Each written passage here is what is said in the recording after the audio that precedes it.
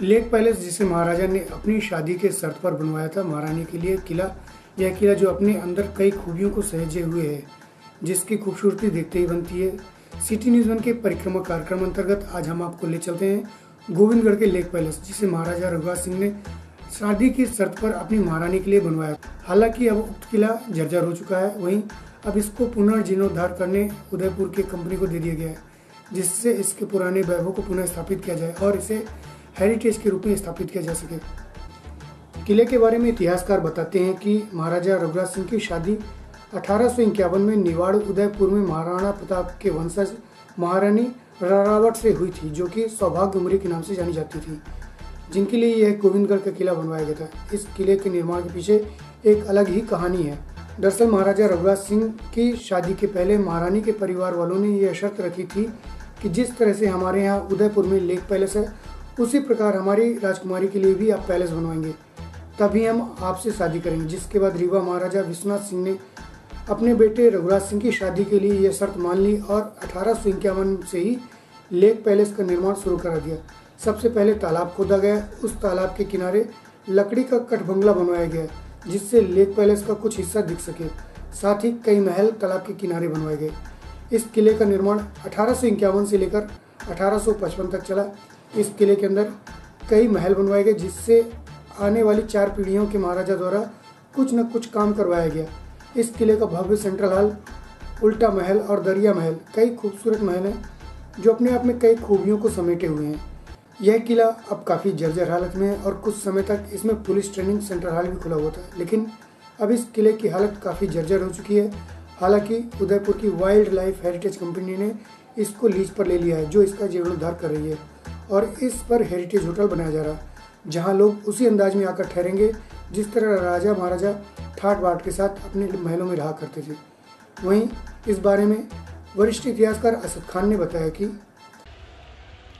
दरअसल गोविंदगढ़ का जो किला है, वो महाराजा रघुराज सिंह जी की महारानी, जो रनावट महारानी के नाम से सौभाग्य कुमरी जानी जाती थी, उनके लिए गोविंदगढ़ का लेक पैलेस बनाया गया महाराजा रघुराज सिंह जी की शादी अठारह सौ इक्यावन में महाराणा प्रताप के वंश में मेवाड़ उदयपुर में हुई।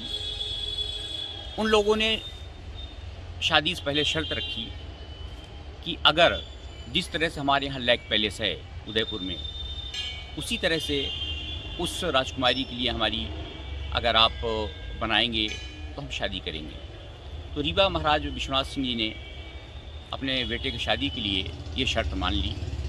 और अठारह सौ इक्यावन से ही लेक पैलेस, उस लेक पैलेस एक तालाब खुदवाना शुरू किया। उस तालाब के किनारे एक कठवे का, लकड़ी का कठबंगला जैसे बनवाया, जैसे एक लेक पैलेस का कुछ व्यू दिखे और कई महल तालाब के किनारे तामीर करवाए। तो अठारह सौ इक्यावन से लेकर अठारह सौ पचपन तक गोविंदगढ़ के किले का निर्माण करवाया गया। और महाराजा रघुराज सिंह जी की जो महारानी, जिनका नाम सौभाग्य कुमरी था, वो वहाँ पर रहा करती थी और रीवा भी रहती थी। उसमें दरिया महल और कठबंगला और कई अच्छे सुंदर सुंदर महल बनवाए गए और कई पीढ़ियों में निर्माण चला। महाराजा विश्वनाथ सिंह ने जो काम शुरू किया, महाराजा रघुराज सिंह जी ने उसमें काम करवाया, महाराजा रघुराज सिंह जी के बाद महाराजा वेंकटरमन सिंह जुदेव ने काम करवाया और महाराजा गुलाब सिंह जुदेव ने भी उसमें काम करवाया तालाब में और महल भी बनवाए। इस तरह से रीवा राज की चार पीढ़ी पीढ़ियों ने गोविंदगढ़ के किले का निर्माण करवाया।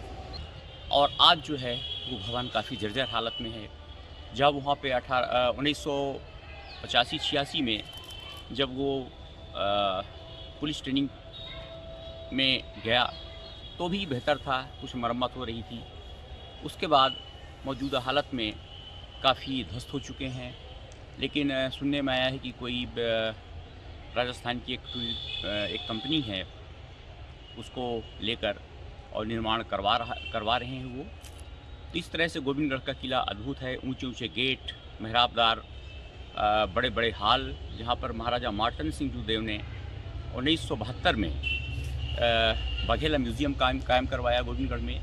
और सफ़ेद शेर और म्यूज़ियम की वजह से गोविंदगढ़ में काफ़ी पर्यटक आते थे, वहाँ रोज़गार के बहुत संसाधन थे। गोविंदगढ़ में आज पर्यटन न रह जाने की वजह से गोविंदगढ़ में रोज़गार के कोई संसाधन नहीं है।